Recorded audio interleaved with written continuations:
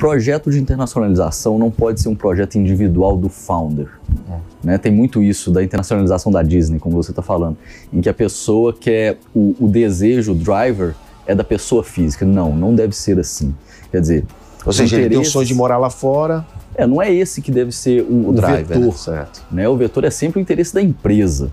É. E aí as pessoas físicas vão se adequar a isso. E é lógico que é um processo de muito valor. A empresa salta de patamar. E o que a gente vem né, vendo nos nossos clientes, e você falou um pouco de popularização desse procedimento, é um tanto quanto desmistificar. A internacionalização antigamente era, visto como, era vista como uma questão muito complexa para empresas muito grandes. Isso não é verdade. Pequenas, médias e grandes empresas podem e devem se internacionalizar. Então, bater um pouco um papo sobre isso para a gente desmistificar o processo e poder. Você, você montou uma estrutura jurídica. Como, como, é que é o teu processo? O que, que é a Drummond Associados? Com o que, que como é que você faz isso? Acho que esse é o mecanismo para a gente começar aqui. Acho que era importante Joia. a gente já dizer quais são os passos, né? E aí a gente avança na, Bacana. no entendimento. A Drummond é um grupo de empresas que a gente se dedica a três grandes pilares: o ramo contábil, o ramo jurídico e o ramo tributário nos dois países, Brasil e Estados Unidos.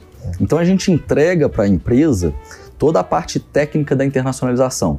Então, desde a parte de consolidação dos livros contábeis, a, internacionalização jurídica mesmo, abrir a empresa, fazer a captação fora com toda a parte jurídica disso, os impactos tributários dos dois países. Então, a gente entrega esses três grandes, esses, esses três grandes pilares para a empresa e aí a empresa toca dali. Mesmo que ela não tenha esse, esse, preparo, não esteja preparado para isso, você, com a tua estrutura, você consegue adaptar as empresas para esta preparação, digamos, para enfrentar é, um, a, a, a, instalação, a incorporação em um outro país. Porque a palavra mesmo é incorporação, né? Ô, João, é, existem, eu divido mentalmente a internacionalização em, to, em dois grandes blocos. Você tem internacionalização que eu chamo operacional é aquela empresa que vai efetivamente vender fora. Só é. vender ou se instalar lá? Se instalar e vender. Se instalar tá? e vender. Não estou falando aqui de exportação de serviço certo. nem de produtos. Bom, é, é, eu estou fazendo essas perguntas bem básicas, hum. que é para gente, para todo mundo conseguir entender o que você faz e, e, e qual é o playbook disso, né? Sim. De que maneira é, isso acontece. Tem, essa, tem esse grande bloco das empresas que vão efetivamente operar, e aí eu chamo da internacionalização da empresa, Tá? Quando a gente olha as startups e etc., ou seja, é aquela empresa que está indo para fora para operar, por exemplo, nos Estados Unidos.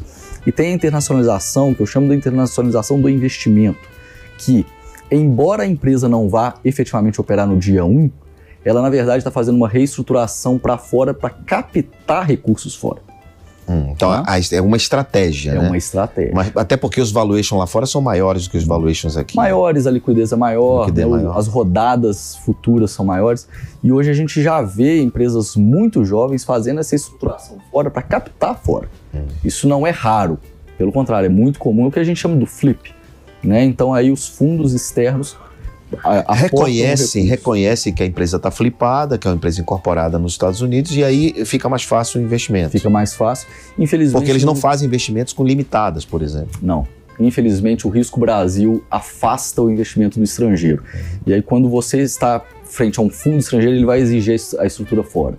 E empresas que já estejam prontas para isso vão ter um caminho mais rápido de negociação e de fechamento com esses players internacionais. Entendi. Então, quem está nos ouvindo e assistindo aqui agora, quiser internacionalizar amanhã, o que, é que ele precisa fazer? Quais são os passos? Planejar. Planejar, Planejar. primeiro. Planejar gente... os seus porquês. Isso. Por que você quer fazer isso? Né? isso? Quer porque quer vender, quer porque quer captar, quer porque fazer tem o sonho de morar lá. Um planejamento estruturado, de médio, longo, me, curto, médio e longo prazo. Entender os impactos tributários e colocar a mão na massa para fazer esse flip acontecer. Hum. Né, a gente tem incontáveis é, exemplos de quem fez isso com sucesso, mas tem que ser um movimento bem pensado.